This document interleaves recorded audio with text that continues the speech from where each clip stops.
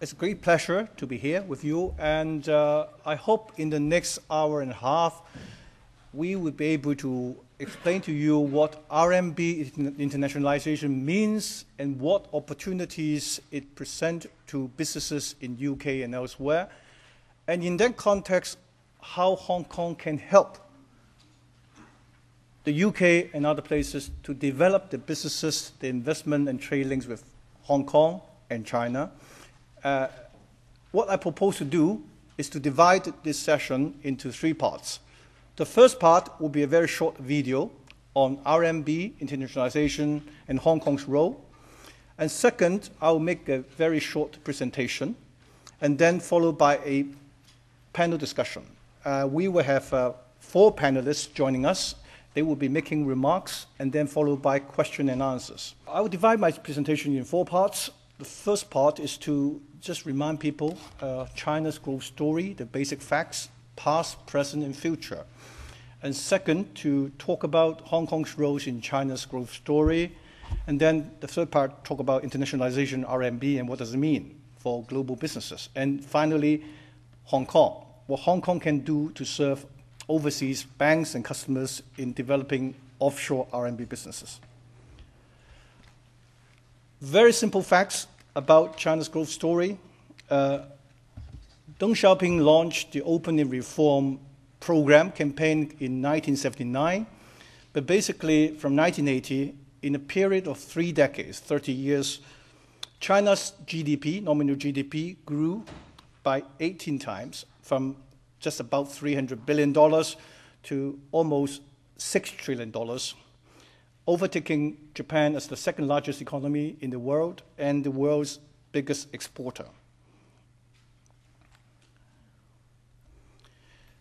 That's past, and looking forward,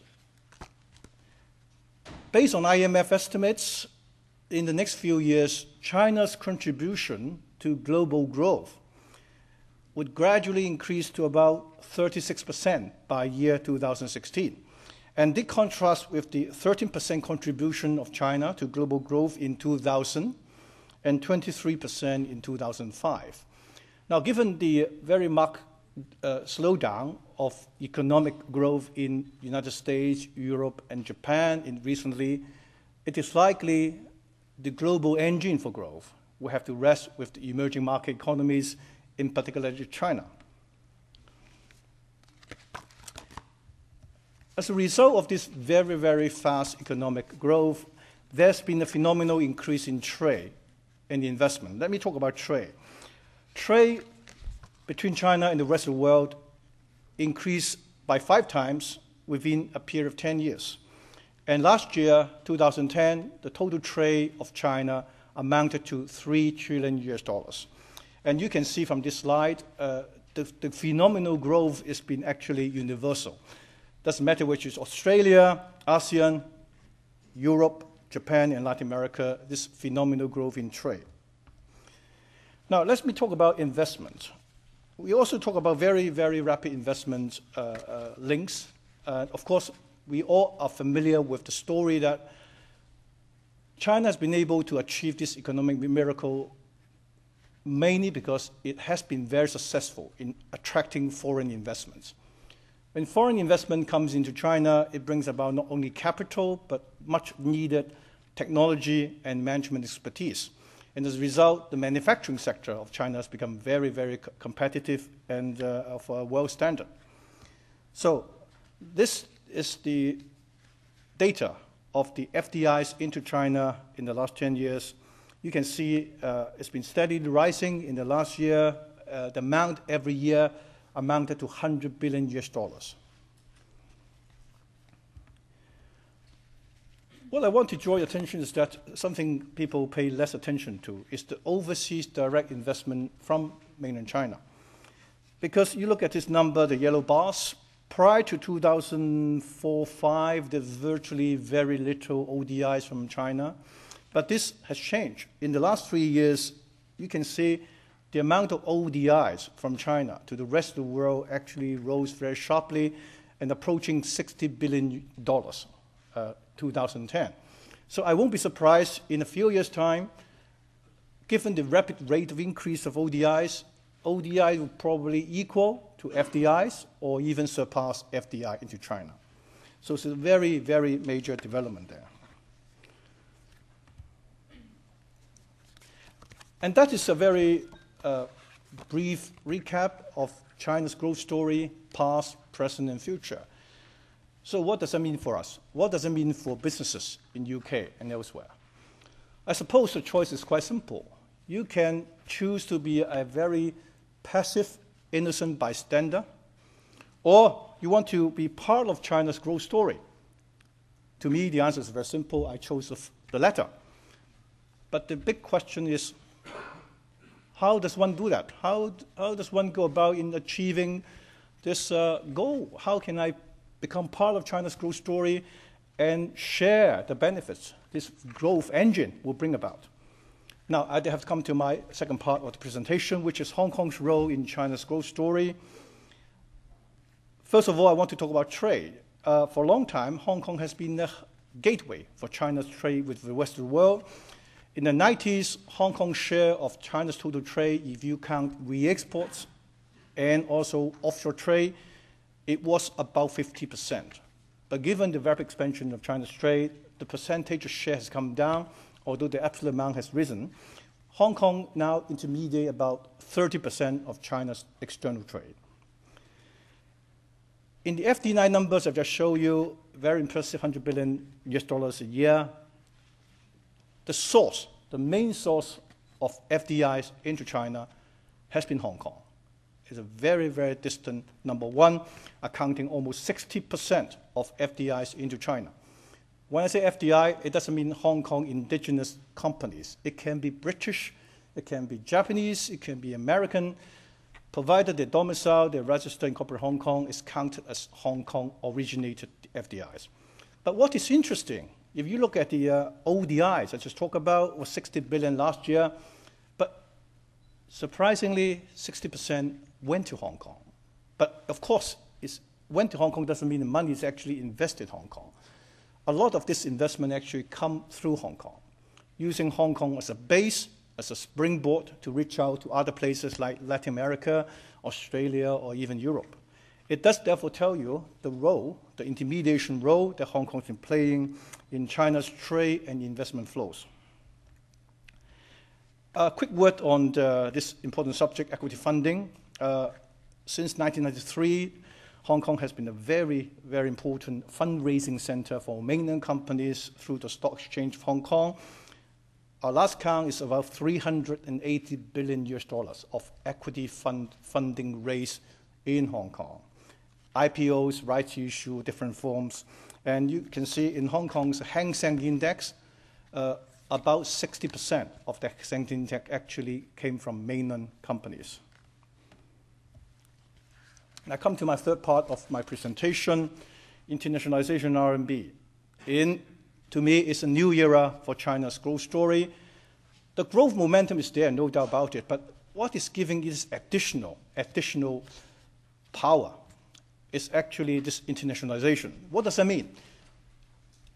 For a long time, RMB is actually a currency used basically in mainland China an onshore market. Offshore market is basically nothing. And there's a huge river segregating the onshore and offshore markets. So what internationalization means is actually building a bridge or bridges linking the onshore RMB market with offshore, allowing RMB to flow from onshore market to offshore market and back. This is basically internationalization is the simplest concept. But I would actually uh, use the analogy of three types of bridges which would link the onshore and offshore markets. The first bridge is the trade flows, the bridge for trade, trade flows. The second is a bridge for investment flows. FDIs into China, ODIs from, from China to the rest of the world. And the third one is for portfolio flows or financial market flows. Let me talk about trade flows.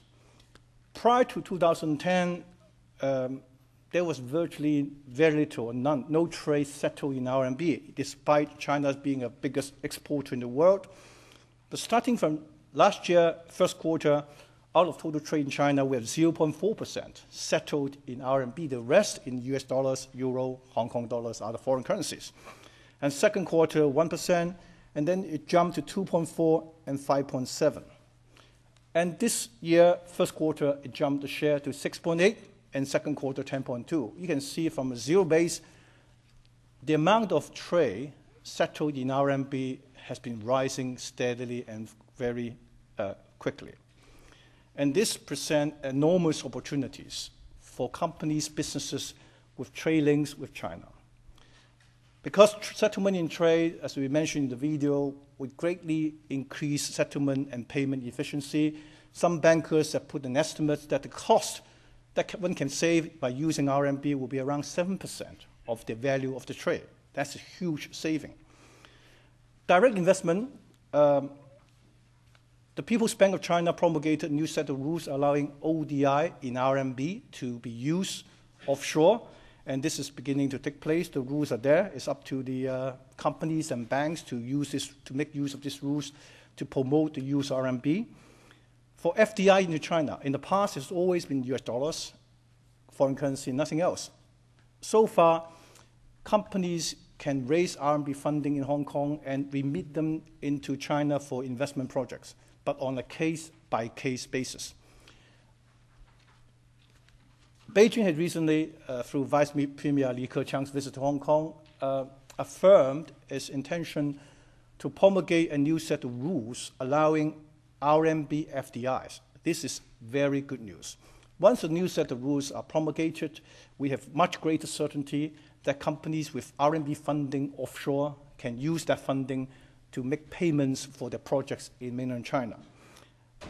And finally, the portfolio flows, uh, the developments is that uh, overseas monetary authorities, including HKMA, has been given quotas to invest in RMB in the bank bond market. Uh, this is a part of a first move, and some banks, Clearing Bank Hong Kong, have been given quotas as well to access the uh, RMB bond market in the mainland. And also, we are hopeful that the RMB or we call the QFII, this portfolio investment in China by foreigners will be introduced also very soon.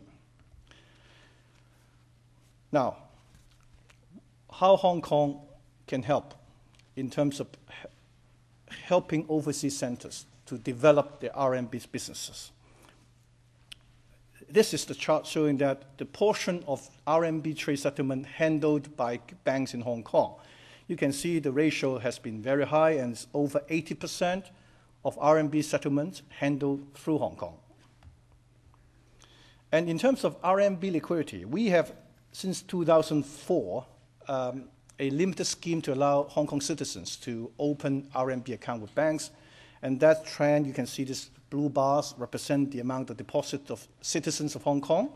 But what is significant is that with trade settlement, the amount of corporate customer deposits grew very, very sharply. At the moment, we have over 50, 570 billion yuan of RMB deposit in Hong Kong, 70% of which belong to corporate customers.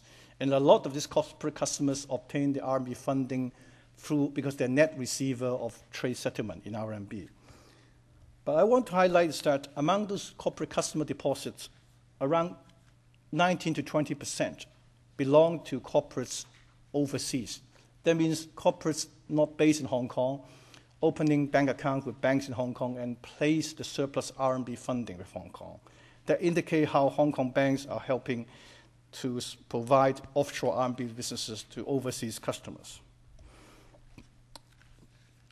Dim sum bond, um, with this huge amount of RMB liquidity, funding cost is very low and attractive. We have a large number of uh, international issuers tapping the Hong Kong market. Uh, in the first eight months of this year, we have 55 issuers issuing amount of 70 billion yuan of RMB bonds, including 20 billion yuan of sovereign bonds issued by China's Ministry of Finance. In conclusion, ladies and gentlemen, I would just say RMB internationalization signifies a new era of opportunities of fostering trade investment links with China and the Western world. And in this context, Hong Kong is the center for intermediate trade investment links between China and the Western world. I think later on, through our panel discussions, we explained in greater detail how Hong Kong can support overseas markets to develop the offshore RMB business to meet the need of the customer in terms of trade and investment. So what I propose to do is that I would invite the four panelists uh, to make some remarks in turn, each of them about five minutes. And then after the, uh, the remarks, we then open the floor for question and answers. I hope this will be a truly interactive process, and therefore, please, please uh send in your question if you have any. I think the first one, uh, Gary, can you uh, explain to the uh, audience the unique features and the services that the clearing platform, RMB clearing platform in Hong Kong can offer uh, in terms of uh, for what does it mean for businesses and, uh, and banks in overseas? Okay, thank you, Norman. as everyone knows that for any currency, there must be an effective and efficient clearing system before you can get any business done to settle your trade, to do money transfer, you know, things like that. And the clearing settlement, the clearing uh, function platform in Hong Kong was initiated in 2004 when Hong Kong just started doing individual retail RMB business. And then later on, it was expanded to corporate business, as Norman mentioned, in 2009 trade settlement were allowed by the Chinese authority in RMB in offshore market. So we see we saw gradual increase and a sudden jump in 2010 uh, in trade settlement and other associated business. But clearing bank function in Hong Kong now, the Bank of China Hong Kong is the only clearing bank. But of course, I'm sure our competitors beside me will certainly want to have that function as well. But uh, unfortunately, it's highly policy driven. And uh, one of the uh, advantages of the current clearing system is that, number one, uh, the system itself is linked to a domestic RMB settlement system. In China, there is a system called CNAPS, China National Advanced Payment System and that China National Advanced Payment System actually is the RMB clearing system in onshore market. And that system actually is able to clear RMB among all the branches of the central banks in all the provinces and through them for all the commercial banks around the country. So the clearing system in Hong Kong now it's currently, well, actually, ever since 2004, had been linked in, uh, linked with a CNAP system, providing real time, very effective clearing services throughout China. In other words, if you're able, if you want to send an instruction to the clearing bank, and that clearing bank, us, is going to, okay, uh, uh, forward this instruction through PBOC, and then send the instruction to CNAPS, and instantly this transaction could be processed and the fund will go wherever you want the money go to. So that is one thing. Without that, of course, you know, it's not only an offshore clearing system. Actually, it's the clearing system linking the offshore and onshore markets. So that's one thing. The other thing, actually, is in Hong Kong, we, we have a system called RGTS, Real Time Gross, Real Time Gross Payment System, you know, something like that. okay. RTGS, real time gross settlement system. Okay, sorry, you know, get it wrong. you know, actually, it's a multi currency real time settlement system. And with that system, previously, we're able to settle US dollar, Hong Kong dollar, euro. But now, RMB is also included on that platform. So if you do transactions, cross currency transactions, between US dollar and RMB or other currencies in RMB, you can get it settled instantly without incurring too much settlement risk. Otherwise, you don't have to wait until the end of the day. As long as the transactions, all the counterparties actually within Hong Kong will be able to settle the trades right in Hong Kong But of course, you know, if you want to get transaction done between Hong Kong and the mainland or between the UK and the mainland, of course, you have to use the CNAPS to get it settled. So that is, uh, that is the other thing. As I said at the beginning, RMB business is highly policy driven and is also very closely monitored by the authorities in China, PBOC. So, you know, when you have some transaction, particularly foreign, foreign exchange transactions. And then, you know, there are two prices. There's onshore price, there's an offshore price, for foreign exchange transactions, for foreign exchange transactions. And normally, the onshore market is less expensive than the offshore market. In other words, if you want to buy RMB, you may have to pay a bit more in the offshore market. But there is an exception for trade settlement transactions. Within a certain quota limit, you're able to enjoy the onshore market exchange rate through the clearing bank. But of course, I have to emphasize it must be within that limit. There's a quota assigned by PBOC to the clearing bank saying, hey, you know, this is the total amount of foreign exchange exposure. In other words, you know, for the entire offshore market, that exposure, that's what we want to take. And then as long as the, the transactions, the accumulated volume of the transactions and accumulated cumulative exposure of the foreign exchange is under that quotas will allow you to use the onshore domestic foreign exchange rate to do transactions.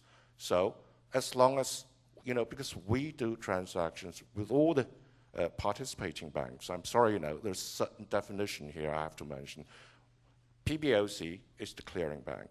All the other banks clear, who clear through PB, uh, no, uh, clearing bank, BOCHK is the clearing bank. And all the other banks, all the other banks who clear through BOCHK is called participating bank.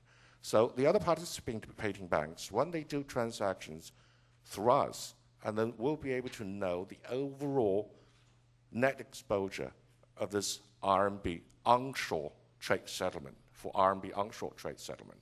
So in that case, you know, whenever the aggregated transaction daily or weekly or even monthly is beneath that, and as long as there's a trade background behind the transfer, and then we'll be able to do the foreign exchange transactions with an onshore foreign exchange rate.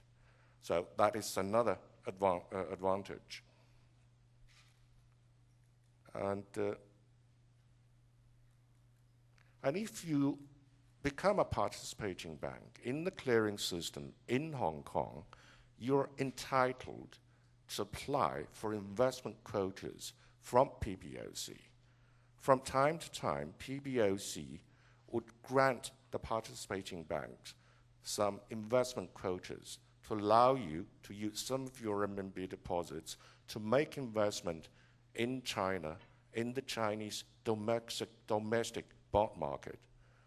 You know, you're entitled, but whether they actually or finally grant you that quota or not is another issue. Okay, some of the participating banks in Hong Kong, like you know Standard Chartered and HSBC, they've all been granted this investment quotas from PBOC, and other local players uh, have got the approval as well. So there's a possibility if you use Hong Kong clearing bank, there's a possibility that you can apply for investment quotas. As everyone knows, investment yield in China, because of inflation and things like that, investment yield in China is much higher than the offshore market. So you can use some of your funds to enjoy high yield investment. That's another advantage. And the liquidity issue. As Norman mentioned, currently we have roughly about 570 billion RMB in deposits for the entire Hong Kong. And that is roughly about 9% of the entire Hong Kong customer, uh, customer deposit base. And it's still growing. So if you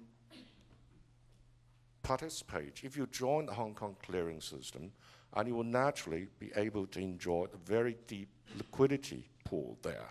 For instance, you know, in the offshore market, if you do money market transactions, foreign exchange transactions, FDI or uh, uh, uh, NDF or DF, whatever transactions, as long as it's offshore, and there's no control. You enjoy all freedom, actually. And, uh, but of course, you know, you can only use the offshore price. You can't use the onshore price. For instance, the offshore price for exchange, you know, it's more expensive than the onshore market. And interest rates, money market interest in Hong Kong, it's lower. So if you're a borrower from, you know, borrower of RMB to use Hong Kong offshore market, you can enjoy lower cost. And that's why, you know, a lot of the bond issuers were attracted to Hong Kong to make, uh, make various kinds of bonds issues uh, just to enjoy the lower funding cost. So the liquidity over there is very deep, and the, uh, the, the, offshore market actually, because of the vast pool of fund there, so if there is any need for funding, I think it will be easier to get it in Hong Kong than other places. And then finally, there's another point that is highly technical.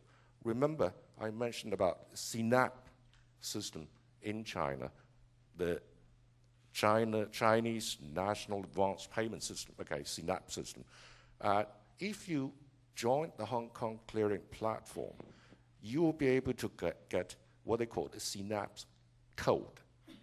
And that code actually is the identity of any of the participating, participating bank. It's the unique identity. All the participants of the CNAPs in domestic market actually have their own codes. So with that code, and if you're, you're assigned a code like that, you'll be able to settle between yourself and the other banks in China in a very efficient, effective way. So these are advantages, but of course, you know, if you choose to uh, clear through some other banks here in the UK, but of course, you know, they can always try to provide the service, you know, they get the service, and then we, you know, tr- in fact, they will, they will try to get the service through us.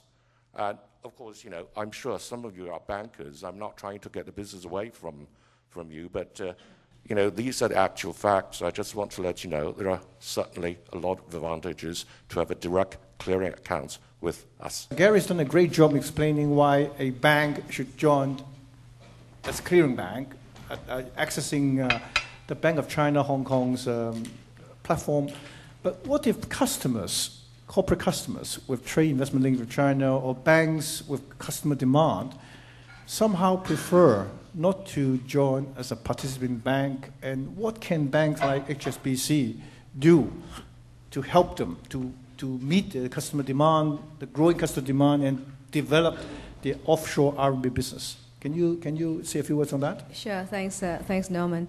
Um, okay, I, I, think there's two parts. You know, the first part of the question is, uh, what services can, can banks in Hong Kong? Definitely, you know, HSBC is very keen and so are you know Standard Chartered and Bank of China, offer banks in the other parts of, of the world, and also what can banks you know with a global network like you know us can actually help corporates uh, to facilitate their needs in terms of whether it's trade or investments you know with China in renminbi. So let me address the first uh, uh, first part of the of the situation.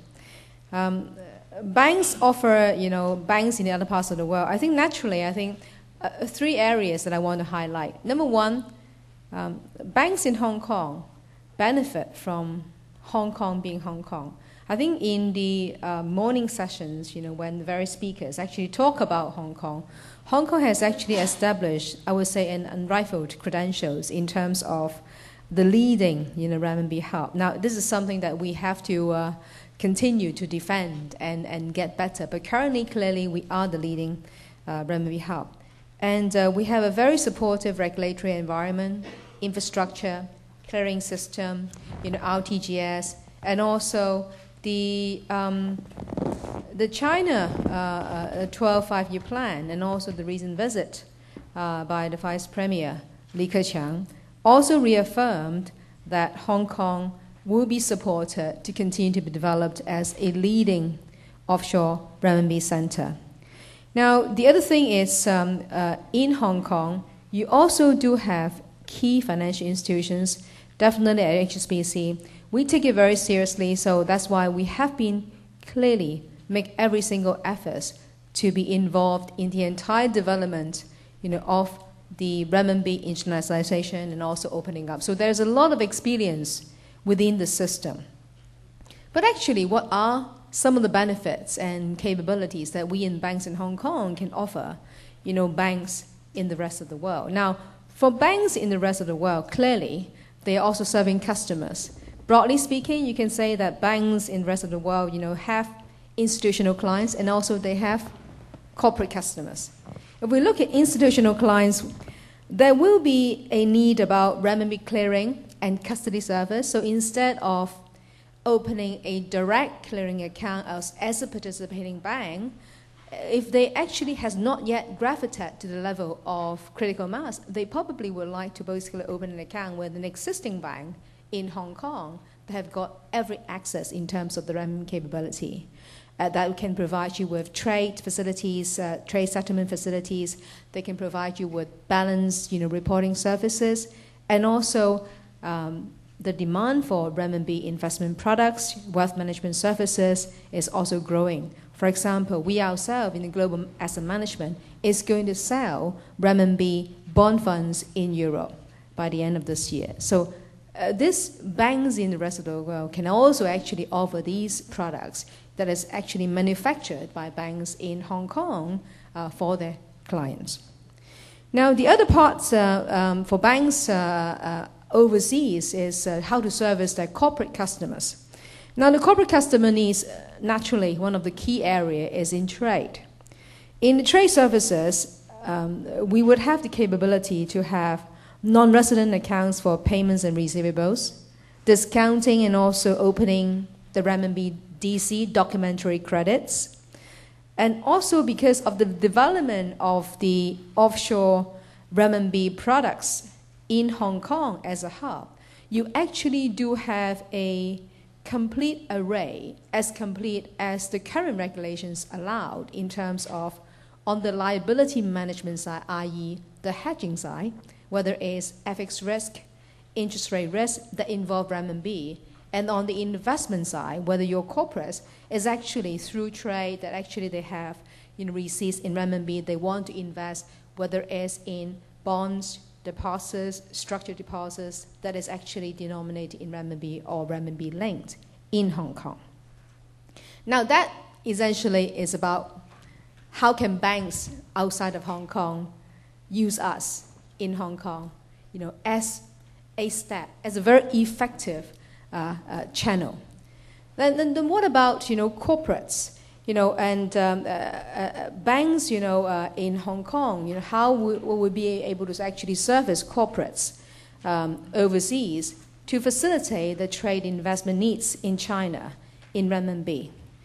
Now, I think it's uh, this point has been highlighted actually early this morning by my chairman, you know, Douglas.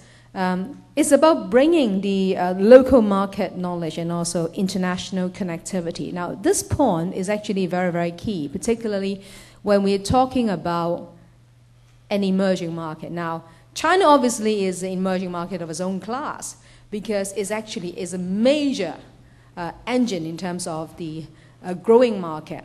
But you do need to have local expertise on the ground staff to actually help you to sort out anything from the simple like opening accounts, you know, sorting out kind of details, cut-off time in terms of settlements, uh, to the other end in terms of dealing with regulators in various compliance issues. And I think the other thing is the on-the-ground support can actually help customers overseas in introducing, you know, your supply chain, whether it's suppliers or retailings that we know operating locally, to provide that link. And then I think the other thing is in any of the growing emerging market, it's important to be involved, you know, from the very beginning all along, so that you have the first mover advantage. I think uh, definitely for HSBC, and I think for you know the, three major banks that you are seeing, every single one of us is very focused in making sure that we are engaged in whatever development that we can be involved in the renminbi. So you actually have a a wealth of knowledge that you can actually use in tapping as compared to, I think, when we're being asked about how Hong Kong compare with some of the key financial centers in the region. I think it's the early involvement, commitment, and the closeness with the market actually has built up a huge pool of the knowledge base. Now, uh, this is, we also need to do communication to make uh, our capability more known, you know, to uh, the overseas corporates. And hence, I think there's various kind of roadshows. Uh, Norman mentioned about, you know, uh, uh, when we're discussing about the Russian, the, the roadshow in Russia, you know, TDC and also HKMA. I think banks like ourselves also participate in the roadshow. And I think earlier, a month ago, um, we actually have a team flying in to London uh, with uh, some of our experts within uh, HSBC uh, in both the, uh, the trading side and also product side, together with the team in London, to actually not only to market to corporates, but actually meeting uh, a group of 50 journalists, European journalists, so that they actually understand the product better, so that when they actually write they can write a true story about the capabilities that Hong Kong can offer to actually help us to communicate, you know, that idea. Now, I think the other thing is to helping overseas clients to tap China and likewise to tap uh, Chinese customers to tap overseas.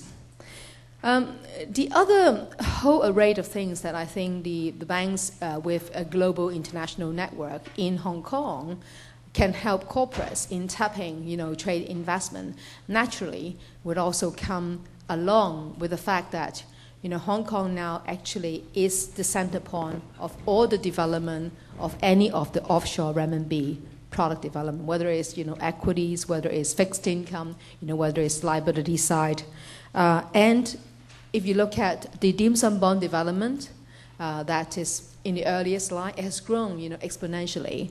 But this is not only in size, not only in quantity, but also in quality in terms of the diversity of the underlying issuers coming to Hong Kong. I think so far up to date, you already have a very colorful mix of issuers, be it is from you know state-owned enterprises, uh, policy banks, you know, uh, some familiar names like European you know issuers like um, uh, Unilever, uh, Tesco, uh, Australian entities like Fonterra you know, high yield to entities like Galaxy, to name it. So it's not about like monotone, you know, uh, market. So actually, it can provide investors with different risk appetite to actually go into this particular market. And renminbi equities is obviously developing, and and I think we are anticipating the renminbi, the IPO uh, size, and also the turnover. 2015 probably account for anything close to 15 to 20 percent of the entire, you know, market. Now, that is substantial growth. Now, this would only continue.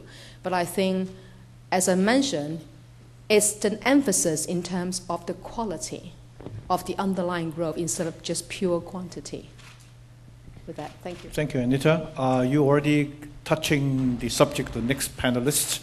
So, uh, Ben, can you uh, say a few words and explain the, the, the market for RMB financing, in particular the dim sum bond market in Hong Kong? Sure, Norman, thanks. Um, um, it's a very timely question because I literally just spent um, the last week um, visiting a lot of clients in North America and now in London and Europe. And I must say the, the interest um, in this area as well as the response in this area has been literally phenomenal everywhere I've, I've visited. Um, uh, I think our, the whole RMB bond really started back in year 2007. But back then, it was only the mainland financial institutions who were allowed to issue RMB bonds. It's not really until um, really the second half of last year that the whole RMB bond, or what we call dim sum bond market, start to really grow exponentially. And if you, are for those of you who are interested in how the word dim sum bond came into being, I'll be more than happy to share that with you later on. Um, but uh, in, in also in size perspective, so far since 2007, roughly uh, 20 billion US of RMB bonds have been issued, um, but the bulk of it, more than half, about 11 billion of that, 20 billion, has been issued in the first eight months this year. So you can see basically the, the, the, the phenomenal growth, and I think the basic, the main change has been since beginning of last year. China has now allowed for all overseas corporates multinationals to be able to issue RMB bonds in Hong Kong, which previously they weren't allowed to, and using the proceeds to then onward invest into China. So that has been the major change. Uh, and that's where we see, as Anita suggested, there were a lot of uh, multinational names who already have a huge amount of business and, and keen to expand in China, wanting to use this particular channel and use this particular instrument to expand the businesses. And so far, I think the um, we have seen from U.S. would be your McDonald's, your Caterpillar, locally here, um, uh, Unilever, your Tesco's, your BP just did their, their deal last week, priced very, very attractively, three years at 1.75%. Um, and also Volkswagen, ORIX, etc. So you can see the, the, the, the cross section of, I would say, corporates keening to tap this market, and equally, of course, mainland. Uh, three weeks ago, the, the Ministry of Finance, which is equivalent to a sovereign bond in China, issued their uh, bond in Hong Kong, and interesting enough, they can raise debt in Hong Kong cheaper than what they otherwise would be able to do so onshore. Okay, so it's a reflection of A, the demand for quality instruments, and B, more importantly, also as the supply of liquidity uh, in, in Hong Kong. And as Norman said, uh, the Vice Premier, again, three weeks ago, Li Keqiang tried to establish a stronger avenue of liberalization, which is to allow the FDI into China to be conducted through RMB. Previously, the whole 100 billion or 106 billion have predominantly been done through US dollars, converted onshore in China through SAFE, and now you can actually do it outside of, of China and inject directly in RMB. And that, from an issuer standpoint, if you're a multinational, if you're sitting here in UK, you have that much more certainty of your ability to A, raise your investment outside cheaply and inject that money into your various projects in the various parts of, of China. Uh, in Hong Kong, this is where you will be able to have a huge amount of transparency, good law to govern them.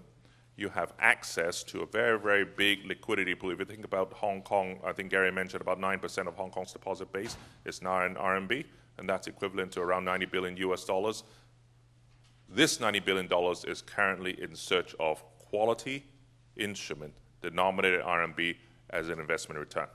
Okay, so if you want to raise it, you, you simply have a huge amount of access to a lot of institutional and uh, depends on whether you want to go retail as well, but huge amount of institutional interest in uh, in that particular bond. And now I would I would just end by saying that the the Ministry of Finance issue, uh, not only did we see interest from local in Hong Kong. Not only did we see interest in US, Europe, but we also saw a lot of sovereign interest in Middle East and sovereign interest even in Africa. So you can say you can see that the world, in terms of central bank, the, the, the financial institutions are growingly interested to apportion part of their reserve into RMB, uh, and that's where in Hong Kong you have a ready access to a network of quality institutional investors and if any, any one of you will be interested down the road in accessing the market, I'm sure any of the banks on the panel would be more than happy to help you. Thank you. Thank you, Ben. Um, there's no doubt growing appetite among individual corporate institutions, even sovereign, in RMB investment products, financial products. Then it, it nicely brings me to the last panelist, Eric.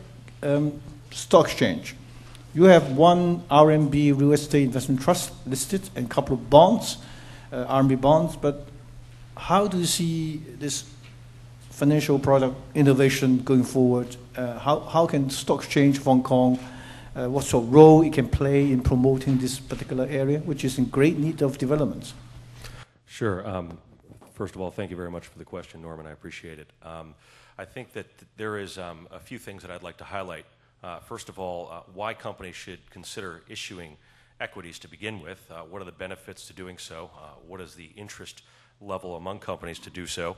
Uh, I would say, secondly, is you know what the structure of the types of offerings uh, that are currently available to corporates that are looking to to issue that, and then finally, what really the size of the opportunity and the depth and breadth of this opportunity are uh, in terms of RMB equity issuance or RMB other financial product issuance. As just mentioned, we did have our first uh, RMB REIT issued earlier this year. Um, it was uh, obviously a, it demonstrated that we have the functional ability to not only issue different types of financial products in RMB, but also that we have the functionality to, to clear, settle, trade, uh, and, and uh, effectively uh, transact in these types of, of products as well. We also have, uh, as mentioned, there's been several dim sum bonds that have been issued in Hong Kong. Seven of those bonds are actually listed on the exchange as well. So we've already demonstrated our ability and our functionality on this front. Um, talking about the opportunity just very briefly and RMB deposits, which have been highlighted uh, to, a, to a very large degree, um, I can tell you that as a Hong Kong resident, I myself have, for the past three years, consistently put uh, a fairly large portion of my income, my monthly income, into RMB deposits. Uh, I won't see which bank because I don't want to upset the three speakers here. uh, however, uh, I'm earning, uh, and maybe this will give it away, but I think I'm earning around 0.3% on those deposits. Um, so it's obviously not a very attractive yield. I'm obviously purely trying to play the Forex gain game, if you will, which has paid off fairly well. Uh, however, I certainly would like to have the opportunity to invest in other products that not only give me the opportunity for Forex gains, but also obviously the opportunity for capital gains. And I think this is really where part of that opportunity lies. Um, so let's talk a little bit about why companies should issue RMB denominated shares, uh, or equities in particular.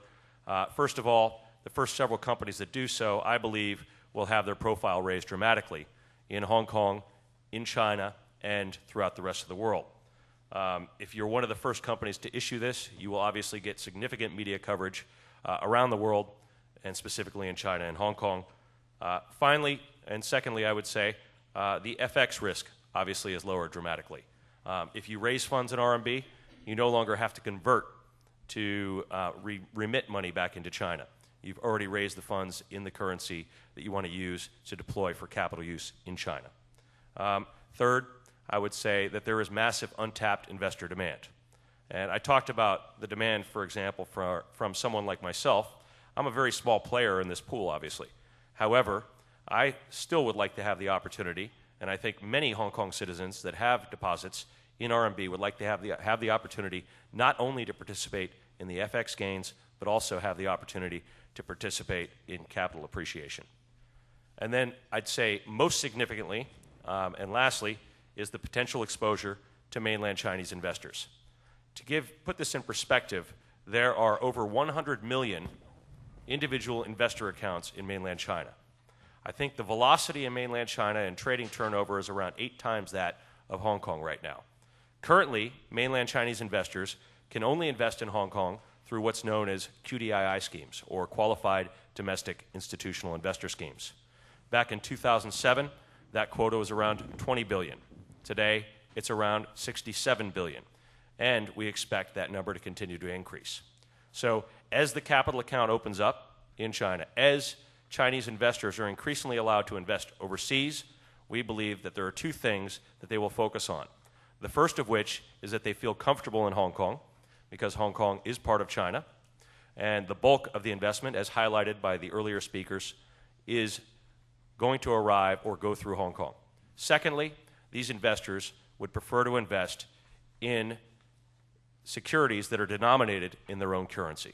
So we see this as a potential for a, lar- a likely massive re rating in the equity markets in Hong Kong. Uh, for those of you who are familiar with the Hong Kong equity market, several years back there was something that was called the through train. Now, the idea behind the through train was that all mainland Chinese investors were going to be able to invest directly into Hong Kong equities. We then saw the Hang Seng Index over the course of five to six weeks move from 23,000 and change up to 31,000. And I apologize if my numbers are slightly off here, but I think that's the approximate level. Uh, once it was discovered that, they, that mainland China was going to slow down this process, wasn't going to allow it, the market promptly traded back down to around the 24,000 level uh, for the Hang Seng Index. And so I think that what this illustrates, obviously, is the tremendous opportunity for a likely market re rating um, and for companies that issue RMB denominated securities to participate in that re rating. Now, lastly, I'd like to talk about some of the instruments that are currently available and that will be, be very soon available to corporates that are looking to tap and do RMB fundraisings. First of all, there are two I would say, two RMB IPO models. Uh, one is what we call single tranche, single counter. This model, in essence, is a pure RMB offering through which a company has a new counter. Um, this is a company that has not raised capital in Hong Kong dollars before, and they purely want to raise RMB. Not Hong Kong dollars, but purely RMB. They then tap the market through what we called, again, the STSC, or the single tranche, single counter model. This is similar to what Huixian did when they raised the REIT. Um, the other model is what we call dual tranche, dual counter.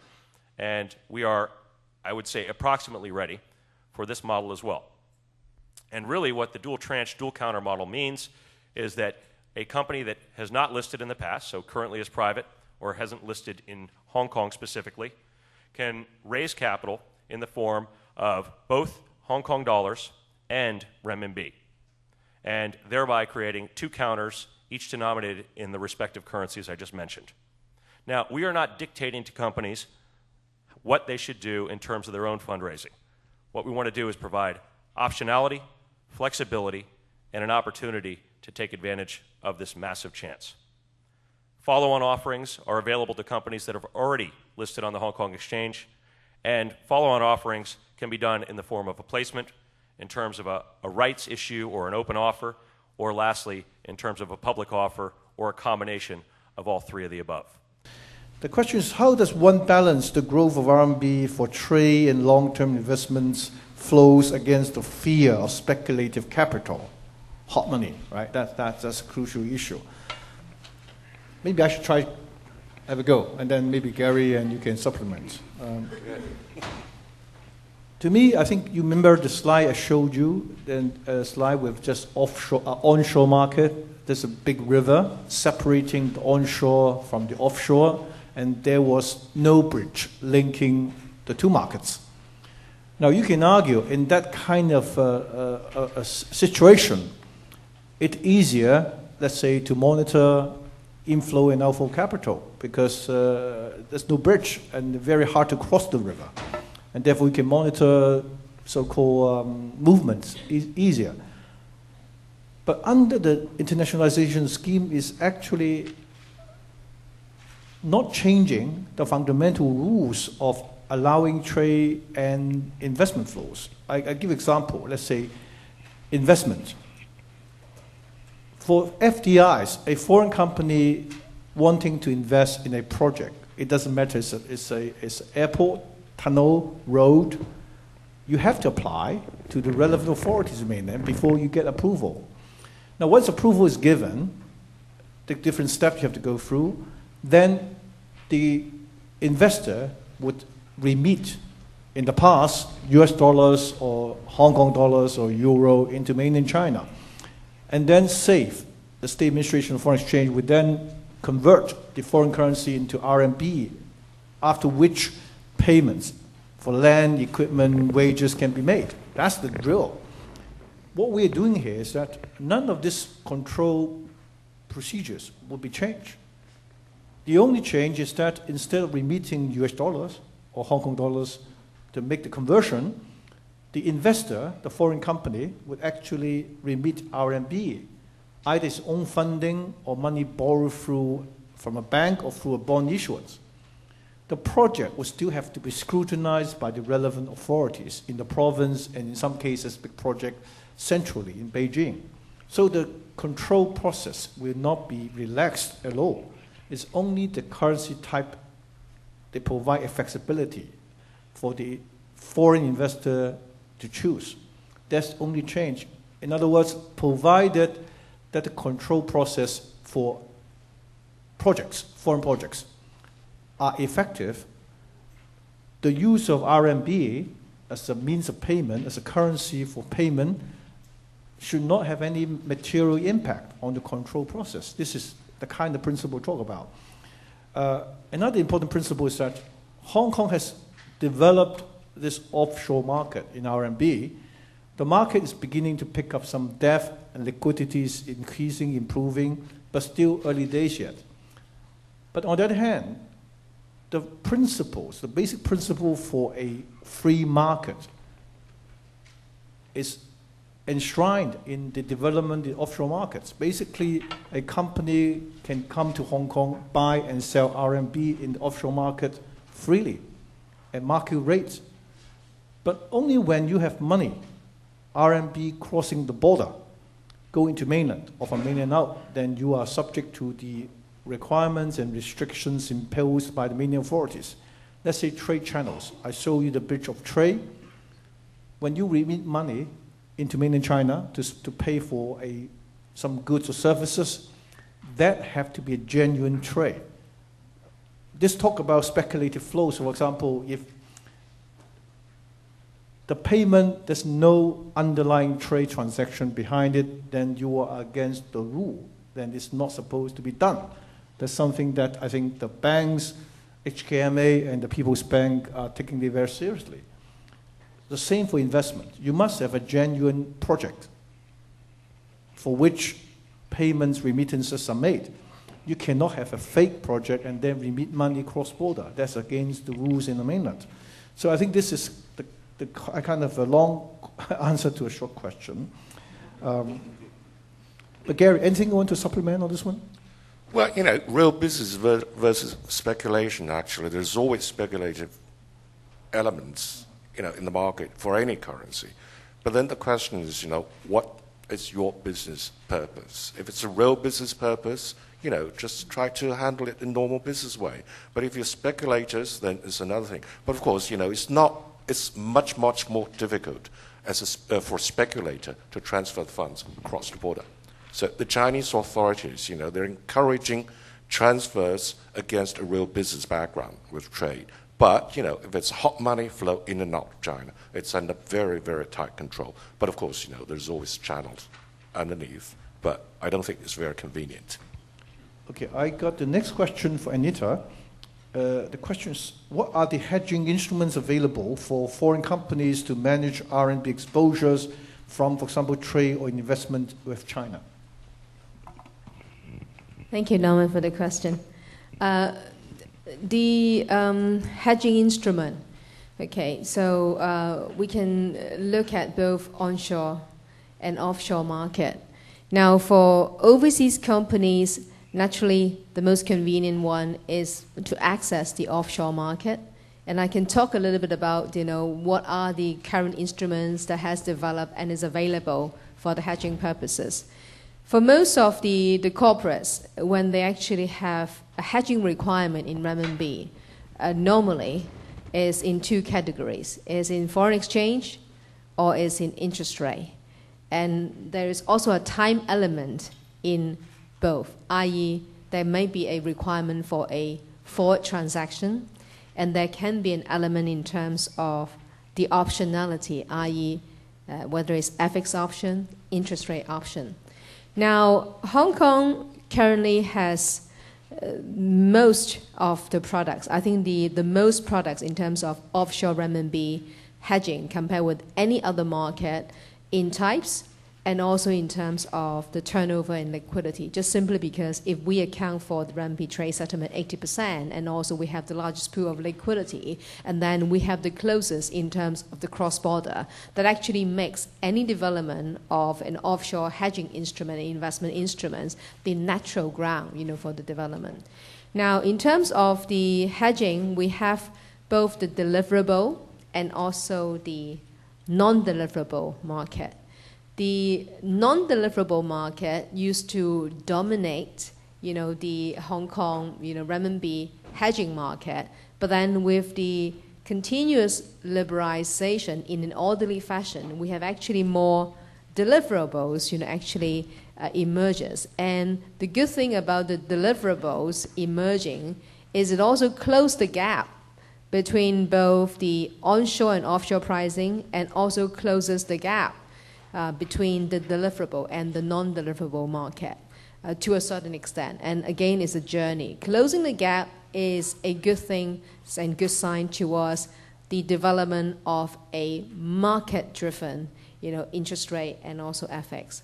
Now, in the FX market, in both, in, you have the spot FX, so i.e., if you want to hedge it, you can actually buy sell renminbi spot uh, in Hong Kong. And if you want to hedge out your foreign exchange risk in anticipation of your demand or supply in a future day, we have FX forward market. The liquidity is in general fairly good up to one year or sometimes two year. Uh, and then if you want to do a hedge against any instability of the interest rate movements of renminbi versus any relevant underlying counterpart interest rate, you know, you can also hedge it through you know, a de facto cross currency interest rate. But a fixed floating interest rate for renminbi can also be hedged. So if you're willing to pay a fixed rate commitment for a renminbi over a period of time uh, by receiving a floating rate, we also have the fixed uh, floating, i.e., the interest rate swap. And more recently, the option market also developed. So you have the option market, but I have to quantify. Obviously, the option market you would expect would have lower liquidity compared with the FX forward and also interest rate swap market because it's a derivative you know, against you know, the underlying. So that's a journey. And then you obviously have got investment hedging, you know, not necessarily through uh, derivatives. You can actually go and buy bonds, uh, go and do FX linked deposits, structured deposits, etc. This would also provide you with certain hedges for some of your investment needs. Um, and we're also developing a interest rate curve, which I think a lot is looking forward to because otherwise, how can you benchmark? Now, in order to develop the interest rate curve to do hedging effectively, you need to have the underlying critical mass of the various dots of the various tenor of the interest rate. And this is evolving. We also have renminbi uh, offshore spot fixing. So I think, you know, uh, with, with the development in onshore, uh, the development offshore market performs a very good complementary uh, perspective and also it's developed a ground for a genuine market driven uh, demand and supply determined pricing whereas in china you still have certain administered you know interest rate situation uh, that is currently still governed by the regulators Thank you. Gary? May I? Just, just one point. Talking about the yield curve, actually, the yield curve, first of all, is not complete in Hong Kong yet. But there's some interesting developments in the last few months. First of all, ADB, Asia Development Bank, made an issue of 10 year, small amount, 10 year bond. But MOF, Ministry of Finance, came to Hong Kong actually last month, made, you know, uh, serious tranches bond issues in various tenors, three, five, seven, ten years. The purpose of that actually, they told us straight and direct is that they want to build a complete yield curve for RMB, so that for whatever purpose, you know, to benchmark your products or hedging, so that in the future it will be easier for people to do Yeah, and also business. the, the Ministry of Finance have indicated that they're, they're planning to have a regular issuance program in Hong Kong with different uh, tenors, with a view to establish a, a reliable, uh, I would say, risk-free benchmark for RMB uh, fixed income products. I think this is something which is very encouraging. Now, the next question is for Ben. Uh, it relates, this question relates to RMB bond issuance, dim sum bond issuance. Uh, are there restrictions on the use of proceeds raised in dim sum bond issued in Hong Kong? Can proceeds be remitted to mainland China freely? And why, why are the RMB dim sum bond interest rates so different or lower than those in the mainland? Okay. Um, first of all, I, I think uh, you have to realize currently all dim sum bonds investment, onward investment into China has to be approved on a case by case basis.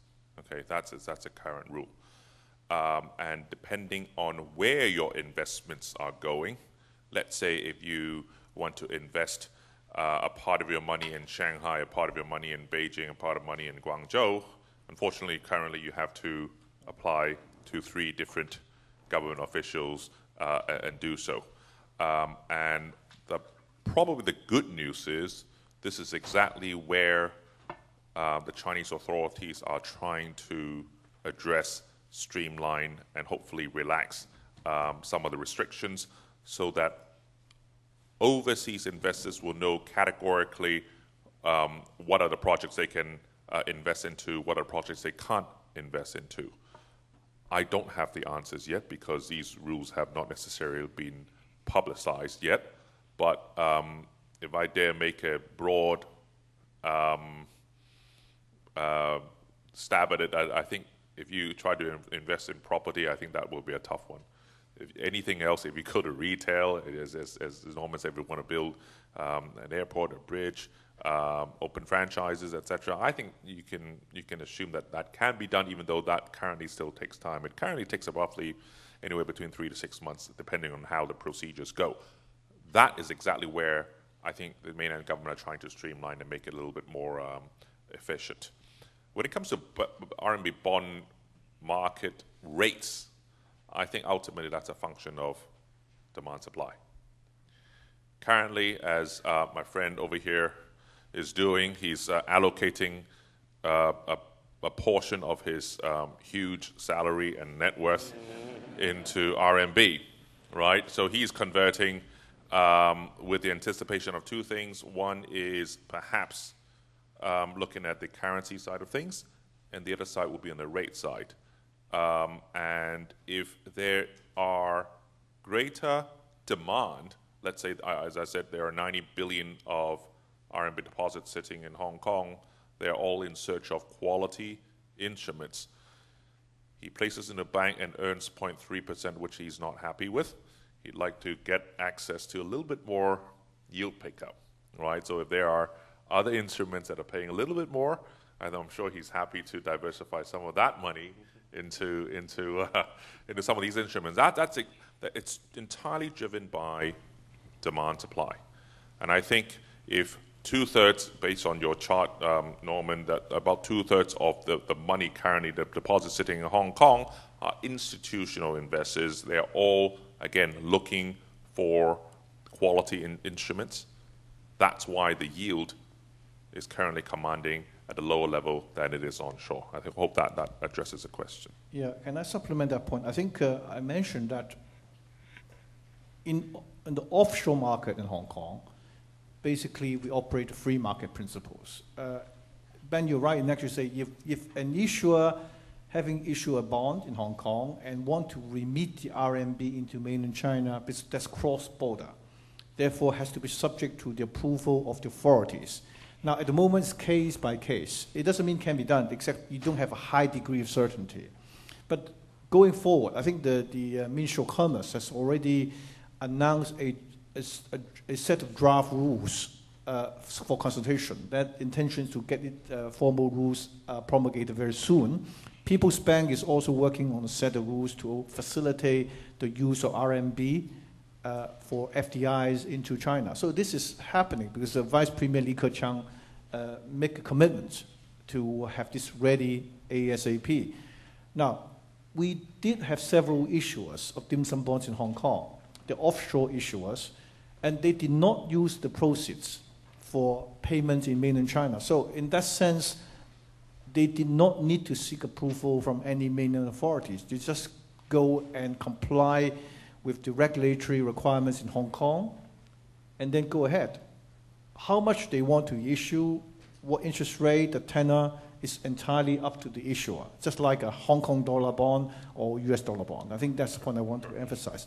Now, the question about rates Again, I refer to the slide I used where there's an onshore market, where there's a very deep liquid, very huge RMB markets with deposits and then investment financing. But the offshore market, we have a situation in which the deposit base has been building up very rapidly, but because segregation, even though there are bridges, the bridges are not totally wide and for all the traffic to go in and out freely. That means there will be segregation between the two markets. As a result, the supply of Hong Kong dollar funding is abundant at the moment in Hong Kong. But the demand for it, whether it's bond issuance and financing, is low, as a result of which, therefore, the interest rate in Hong Kong are much lower than those of mainland. But this is a pure supply demand situation. Gary? What Norman, just one point I'd like to supplement. Actually, uh, uh, the proceeds you get from the bond issuance in Hong Kong of course, under capital accounts, you need case by case approval from the authorities from SAFE. But you can perfectly use it to settle your trade. You know, even though you, use, you, you raise your proceeds by issuing a bond in Hong Kong, but you know, if you have an import from China and you want to pay it in RMB, but at the same time expecting some revenues from China, be it in capital or current account, you can perfectly use it to trade to pay for your trade, and then of course use your future revenue in RMB to repay the bond. So under current account, there's no control whatsoever to make payments. Cross-border payments, no control. But only under current account, there's need for approval for any of the transfer, major transfers. I just want to, want to clarify that. Uh, Anita? I just want to add one point to uh, uh, on this interest rate differential. Uh, Eric mentioned that he gets 0.3%, right, for this uh, remedy process. Just to give you a little bit of color as to why, you know, uh, the other perspective is why bonds, dim sum bonds, can be raised at such a low interest rate. The same tenor of uh, the renminbi deposits onshore, if you put it for three months, you can actually make over 3%. And in Hong Kong, in any of the offshore market, deposits basically is very low. So if a deposit deposit alike, because it, this is not this two market onshore and offshore, so that actually explains even at one and a half percent offshore is already very attractive, mm-hmm. and and that's that's one thing. Now the other thing about adding on what Gary mentioned about you know if you issue a bond in Hong Kong in renminbi, technically speaking, if you are a importer in, in trade if you have a transaction with a Brazilian company or an African company where you're importing in machinery or whatever, you know, you can actually pay them in renminbi. And there's no regulations. And then whoever is receiving this renminbi can actually open a renminbi account, a corporate nature account, and deposit that renminbi in that account. Uh, you don't need to necessarily remit back to China. But if you remit back to China, uh, there is a regulations. Thank you. Uh, talking about uh, in search for yields, uh, this question for you, Eric. it's a very simple one. I'm not quite sure you can answer it. When is the first RMB IPO expected? um, well, that's a very good question. Um, actually, we, we, we are seeing significant interest. I, I, can't cite any specific companies, and I can't give you uh, a specific timetable. Uh, we are optimistic that we will see some IPOs, uh, hopefully before the end of this year, or at a minimum, some follow on issuances in the form of RMB from currently existing issuers. So um, it's something that I've been tasked with, and uh, I probably won't be sitting here next year if I don't get something done relatively soon on that front. Thank you very much. Uh, I think uh, we are probably coming towards the end of the session, but can I just conclude by making a few brief comments? I think we are all familiar with China's growth story, and the story, the growth story, continue become more impressive, more prevalent, given the uh, slowdown in economic uh, growth in the advanced economies. And the question for businesses, for people in the UK and elsewhere, is that whether you want just to be a, a bystander of this China growth story, you want to be part of it. And there's only one way you can be part of it is actually to join in, to be either investing and trading with China. And that must be the way go forward. And uh, in that sense, of course, lots of people have been thinking about I'll go into China direct, but there are uh, reasons, there are kind of rules, especially capital account uh, restrictions, that you cannot do so freely. And Hong Kong is actually your gateway in accessing China. And also tapping the, into the possibilities of vast uh, demand for investment from China to the rest of the world. Uh, I think Lord Sassoon this morning talked about Cheung Kong's investment in the infrastructural project in the UK. There's a very uh, uh, high profile, very uh, sizable investment. But I could equally see a lot more to come because China is a big saver. The savings need to find outlets, not just domestically have to be go overseas. That's why in one of my slides, I said I would not be surprised in a few years' time, China's ODIs could equal or surpass the very impressive FDI numbers. You're talking about over 100 billion US dollars equivalent, equivalent a year. And that is enormous business opportunities for corporates, trading firms, financial institutions, especially banks. I hope we have been able to explain to you why we're here, because we believe that RMB internationalization will proceed and will proceed very quickly. Offshore RMB businesses will, will sort of uh, develop very rapidly in many overseas centers, especially in London. And of course, London has its own trade and investment hub, and lots of huge links with Hong Kong and China, but we are into a new era. The new era is, is the use of RMB, which, is, which has not been done before. It doesn't matter whether you are a company, big corporates, or SMEs, or you're a bank, because there are lots of ways that Hong Kong can help you to build and develop your offshore RMB business here. It's not a question that if you develop RMB business, then Hong Kong stand to lose, or vice versa. It's actually the opposite. It's that if we can help you to develop more efficiently, more effectively your RMB business to meet your corporate customer demand, we are in a win-win situation. You do more trade investment in China, and we help you, and we take a share. And this is a mutual beneficial uh, arrangements. And therefore, I think, uh, I hope we've been able to uh, explain to you uh, the way in which, the ways, in fact, there are many ways, in which we can help you. If you are a bank, you could consider becoming a participating bank, linking up to uh, Gary He's uh, clearing platform. Or if you are corporate customers with trade investment links, you could choose to open accounts with any of the banks in Hong Kong.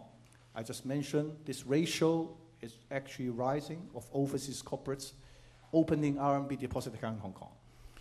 Or if you are companies or banks, you do not want to have direct access to the Bank of China platform, you could consider using any of the banks in Hong Kong with this global uh, network. Standard Chartered Bank, HSBC are just a few we, we could name. There are others.